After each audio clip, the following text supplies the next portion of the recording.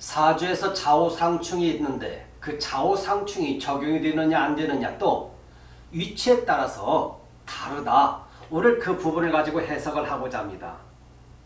이 사주는 결혼 문제로 결혼 문제로 결혼을 해야 하느냐 여성입니다. 93년생입니다. 31세입니다. 여명입니다. 여명.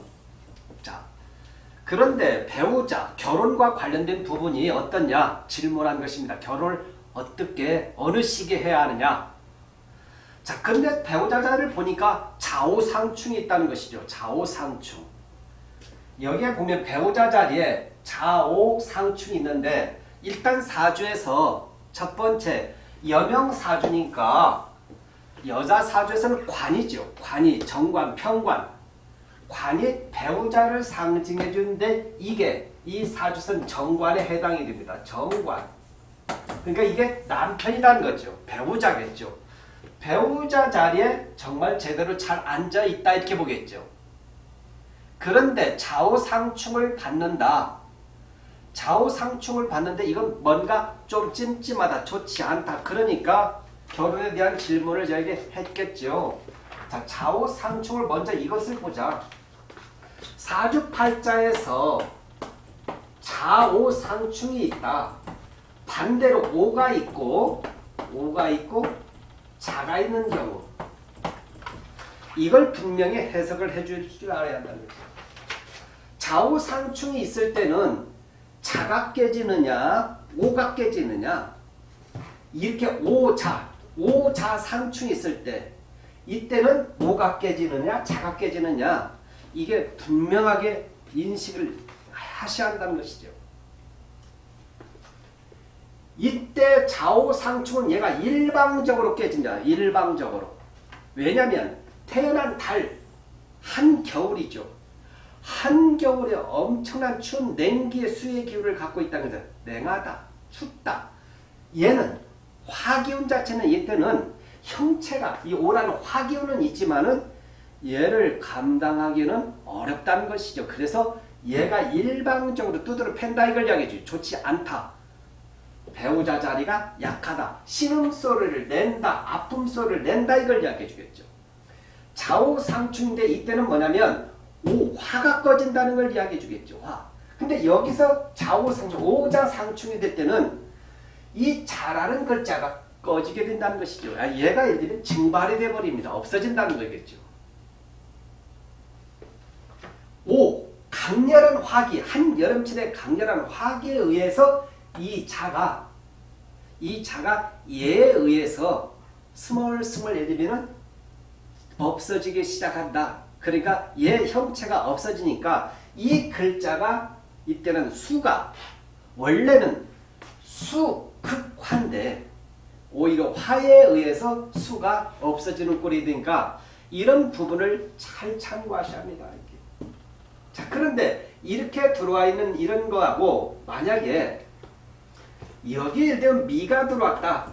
미라는 글자가 대운에서 들어올 때 이런 경우는 얘하고 얘하고 합세를 해서 이 차를 얘가 이때는 꼼짝마라 하게 됩니다. 오히려 균형을 이루기 때문에 이런 때는 이 오가 미를 만나서 좋은 원군을 만나서 좋은 역할을 하게 된다는 거죠. 미가. 이런 경우는 미가 들어와서 오미 합을 하게 된다면 얘 때는 일방적으로 배우자 자리가 더 극한 꼴을 탔는다. 이때는 참 살아나기가 힘들다, 아프다, 질병과 아니면 부부 자리에 여러 가지 가정적인 문제에서 악재를 겪게 된다 이걸 얘기해요. 경례 겪게 되는데 이 육친에서 얘가 뭐에 해당이 되느냐 배우자 자리면서도 그 육친 관계를 보면 된다는 것이죠. 똑같은 좌우상충인데 똑같은 좌우상충인데 똑같은 미가 들어올 때 여기가 미가 들어올 땐 그래도 어느 정도 살아나는데 괜찮은데 이런 경우는 미가 들어오면 얘는 아픔을 준다는 걸 이야기해 주겠죠. 그래서 이런 부분을 잘 참고해 보셔야 한다는 겁니다. 이 사주를 보면 이제 보겠죠. 배우자 자리, 결혼을 물어봤어요. 결혼을 어떻게 해야 합니까? 저에게 물어본 것이죠. 언제 해야 하느냐? 배우자 운이 좋냐? 궁금하겠죠. 자, 근데 경금을 갖고 있는데 얘가 화가 얘가 어떤 상태 힘이 있느냐 없느냐 저항력이 있느냐 근성이 있느냐를 볼 수 있겠죠. 그런데 임신, 임자 이렇게 되면 강렬한 수기운이 있습니다. 수기운이 있고 금과 수는 같은 패거리니까 이렇게 있겠죠. 금과 수가. 벌써 답이 나왔다는 것이죠. 얘가 일방적으로 배우자 자리를 좌우상충하고 있다는 걸 이야기해 줍니다. 이런 경우 이런 경우 이 사주에서 배우자 자리에 정관을 끼고 있지만 깔고 있지만 좌우상충이 심하게 일어난다. 심하게 일어난다는 것은 결혼하고 난 이후 굉장히 삶 자체가 힘들고 어려울 수 있다. 그래서 함부로 결혼하면 안 된다. 이걸 이야기해 주겠죠. 일방적으로 수국화를 시킨다. 좌우상충도 일어나고 수국화를 하게 된다. 그러면 얘가 힘이 정관이 이런 경우 결혼하게 된다면 배우자가 자기 역할을 하지 못합니다. 결혼 전에는 나름대로 직장을 갖고 왔는데 결혼해서 함께 살다 보니까 직장도 실직하게 되고 힘을 잃어버리고 여러 가지 사건 사고가 일어난다는 것을 보여주는 것이죠. 그러면 얘를 좌우상충이 일어나는데 얘를 도와주는 것이 미나 이런 것이 있느냐를 봐야겠죠. 적당한 것이 들어와서는 얘를 도와줄 수가 없다 이걸 얘기죠.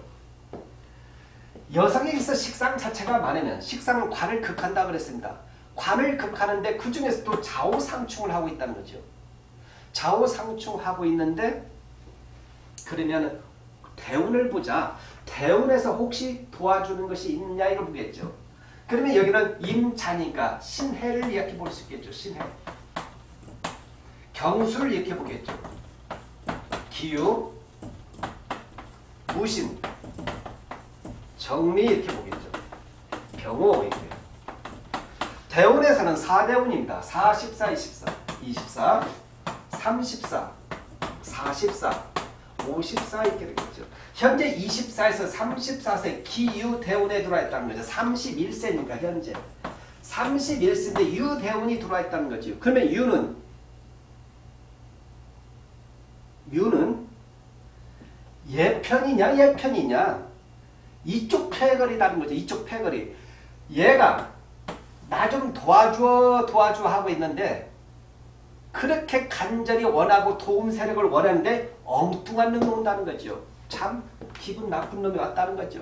얘가 돌아서 오히려 금과 수의 기운이 더 냉기가 많아졌으니까 냉한 기운이 많아지니까 경금에게는 금생 비견 비겁이 들어와서 비겁이 들어와서 비견 들어와서 식상 자체가 더 강해지니까 이렇게 있으면 결혼시키면은 얘가 망가진다 이걸 이야기해 주겠죠. 힘들어진다는 거죠. 절대로 화합하기가 힘들다는 걸 이야기해 준 겁니다. 그러면 유가 들어와서 도움을 주지 않으니까 현재 31세인데 이 사주는 대운에서 봤을 때는 아 결혼은 약하다 이렇게 설명할 수가 있는 것입니다. 자 그러면 세운도 보자. 세운을 보고 보면 올해 이민년 이민년 내년 개묘년입니다. 개묘 갑진년 을사년 이렇게 나가겠죠. 병호 자 올해 이민년이 들어왔습니다. 이민년 아하 이민년이 들어니까 까딱까딱 하겠죠. 이게요. 얘가 목생활을 시켜주가 좀 힘이 있으니까 그래서 결혼 문제에 대한 것이 꿈틀꿈틀 될 수가 있다 이렇게 볼 수 있겠죠. 그런데 언발에 오줌 누고 있다는 걸 이야기죠.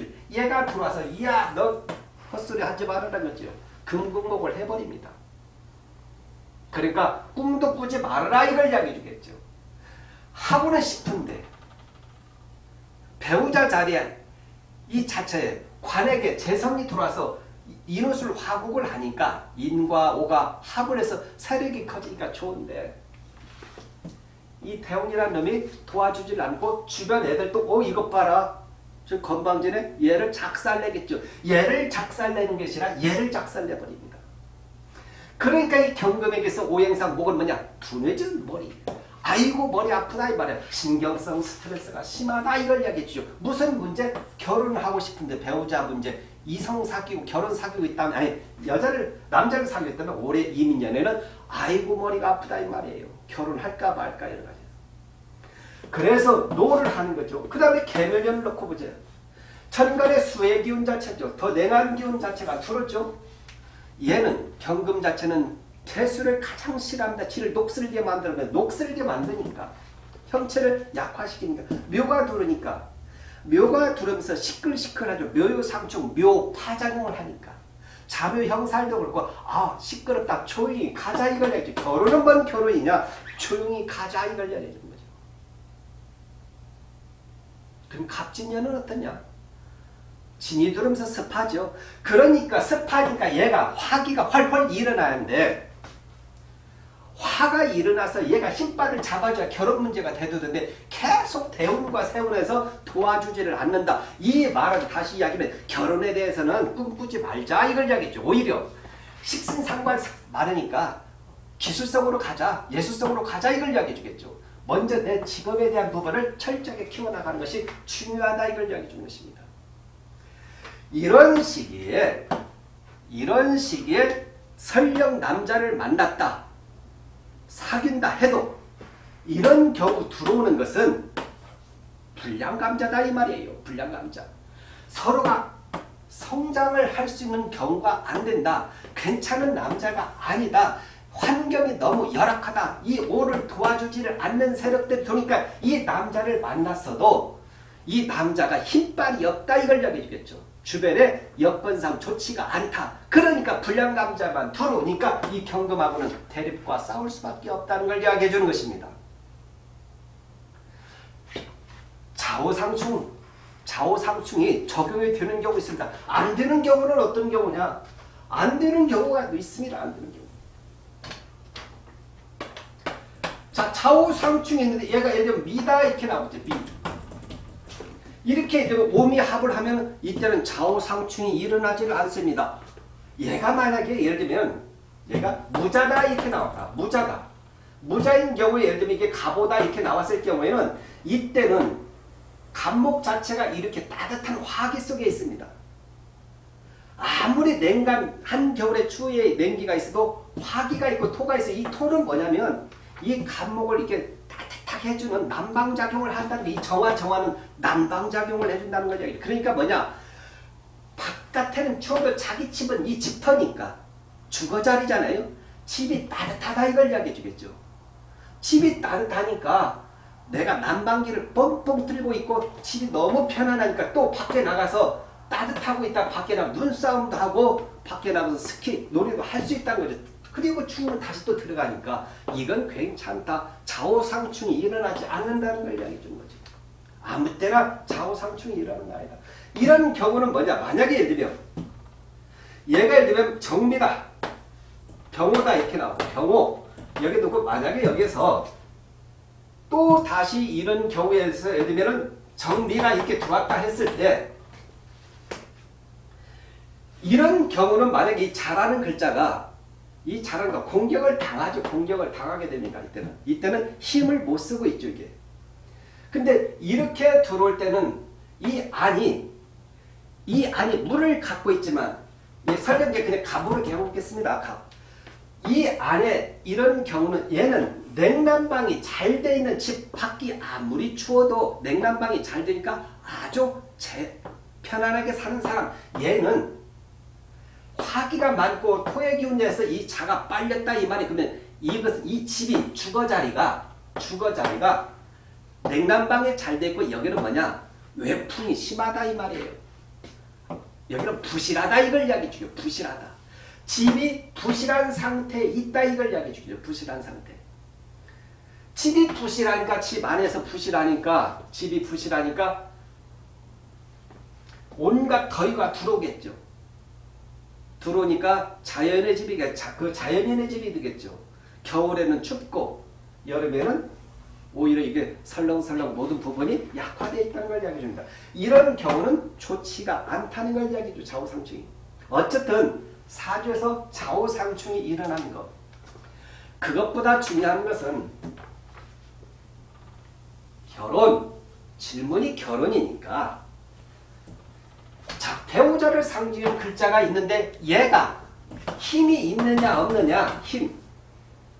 있긴 있는데 힘이 있느냐 없느냐. 주변을 아무리 둘러봐도 얘가 힘이 약하다. 아 그거 진짜 좀 좋지 않다. 그러면 뭐냐?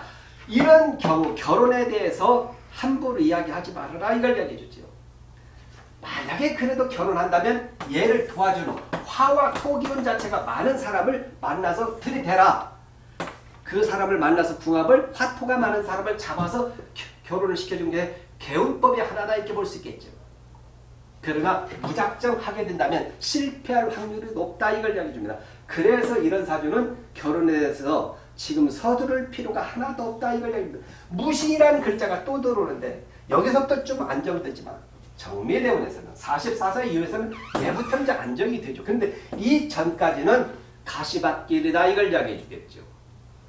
가시밭길을 없앨 수 있는 방법은 최대한 이 화투를 잡아주자. 그리고 나서 이 스스로가 개인의 일을 하게 하자. 이게 방법론입니다. 개운법이겠죠. 그래서 이런 사주는 결혼과 관련된 부분에서 저에게 질문했을 때 저는 결혼에 대해서는 이야기를 꺼내지 말아라. 이렇게 이야기했죠. 그러나 만약에 결혼에 관련된 것을 조금이라도 힌트를 얻고 싶다면 화와 토의 기운 자체가 있는 사람을 만나라 이걸 얘기죠. 그리고 나서 을사는 병호년 정민년인데 을사도 아니다. 병호 정민년을 한번 참고해보자 이거죠. 병호 정미가 둘때 조금 똥끼는 놈이 들어오니까 그것도 언제냐 상반기냐 하반기냐 상반기다 이걸 이야기해 주겠죠. 1월에서 7월달 사이를 참고해봐라 이걸 이야기해 주겠죠. 결혼 중요합니다. 좋은 배필을 만나서 사는 거 참 행복하죠. 그런데 우리는 다 그렇게 꿈을 꾸고 있지만은 생각으로 힘들고 어렵게 사는 사람들이 많이 있습니다. 힘들고 어렵게 살아도 좋습니다. 뭐가 가장 문제냐? 질병. 질병을 얻거나 아니면 사별. 서로 만나서 사별하는 것은 좋지가 않다는 거죠. 차라리 만나지를 말해야 한다는 걸 이야기해 주겠죠. 이런 경우는 정말 섣불리 함부로 이렇게 결혼하기는 약하다 이렇게 봅니다. 그래서 잘 먹고 잘 살려면 조금 이런 사주는 궁합을 통해서 때와 시기에 맞춰서 하는 것이 좋다는 것을 알려주니까 여기에도 해뜰 날이 온다. 언제 해뜰 날이 오냐 이런 부분을 참고하는 것이 해뜰 날이요.